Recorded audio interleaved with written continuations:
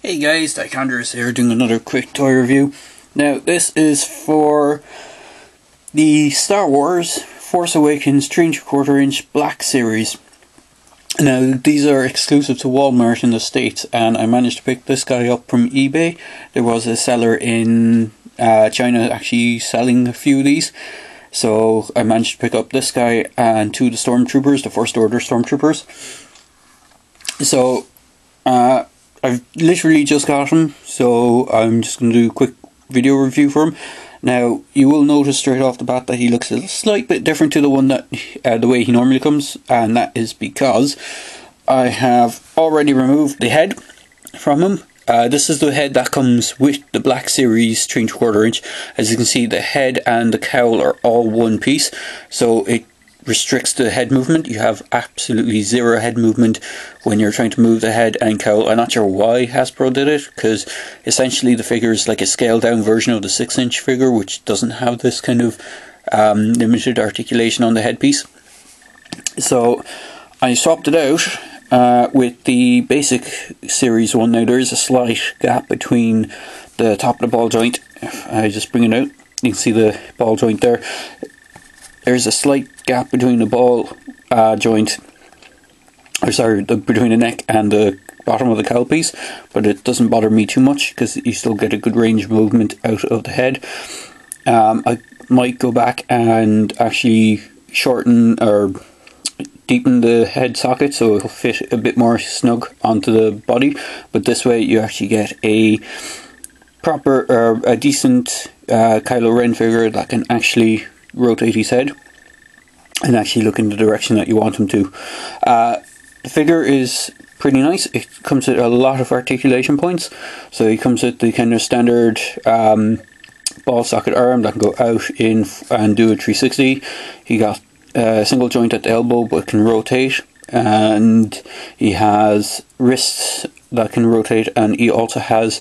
It's a bit hard to see, but he actually has up and down on the wrists so you can get him into the pose that you see him in in the movie where he's just holding the blade down. So he also has he has a sort of a small ab crunch. It's like at the bottom, but it's not great because it's slightly hindered by the soft good cape.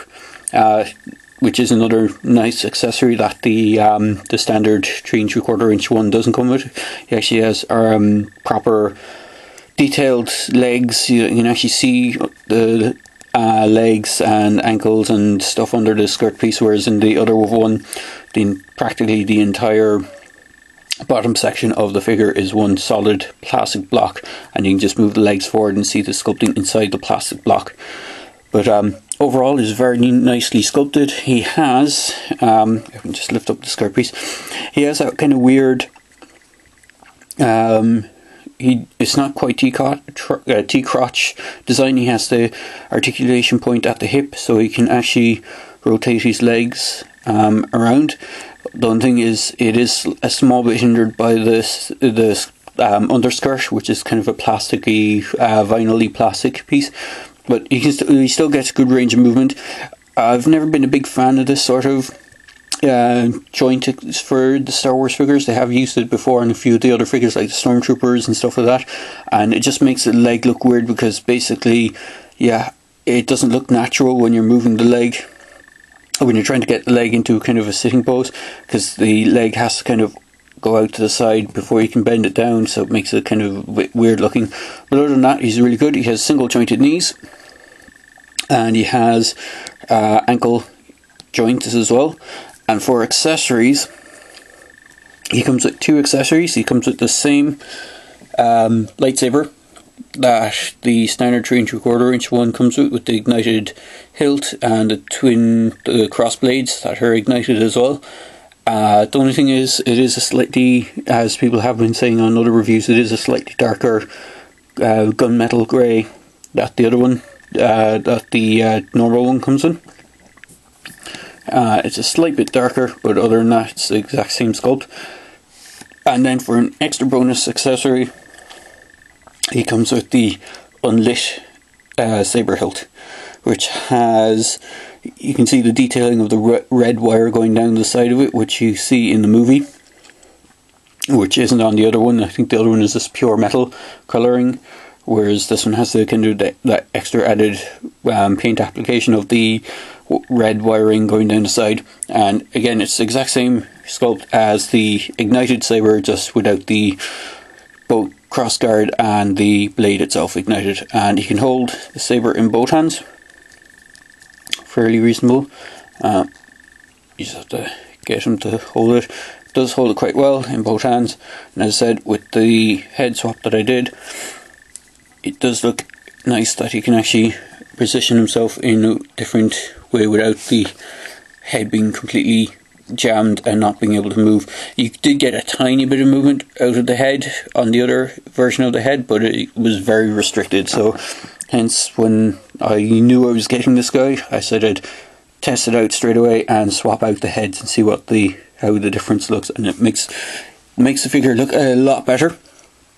Um, the other figure that I'm going to try and do a head swap with is the Armor Up figure because even though it's another Kylo Ren figure, the version of the Armor Up um, Kylo Ren is actually has the cowl or the the hood for the cloak part actually pulled back so you can see the full helmet design of the head so it's basically an un um, it doesn't have the hood up up on the figure so I'm going to try and see if this thing can be done with that by just bringing uh, picking them up and trying a quick swap out.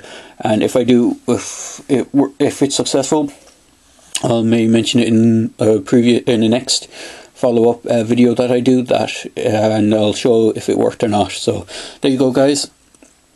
As I said, I'm going to pick up the armor up figure. Unfortunately, I don't have it at the moment, so I will try and get it to see if that um, works. So there you go, guys. It's a quick video review of the three and quarter inch, um, three and quarter inch Black Series, or uh, Kylo Ren from Star Wars Force Awakens, and I haven't seen the movie, and I'm not going to make any spoilers whatsoever. But I do say, if you haven't seen the movie, I do recommend going seeing it.